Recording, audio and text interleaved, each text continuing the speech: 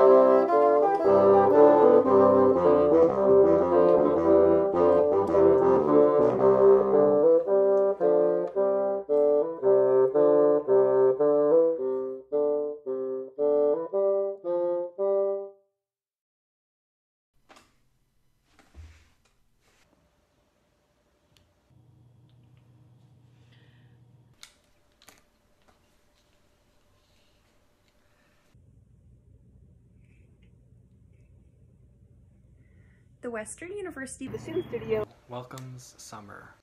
Remember, your bassoon does not need to wear sunscreen.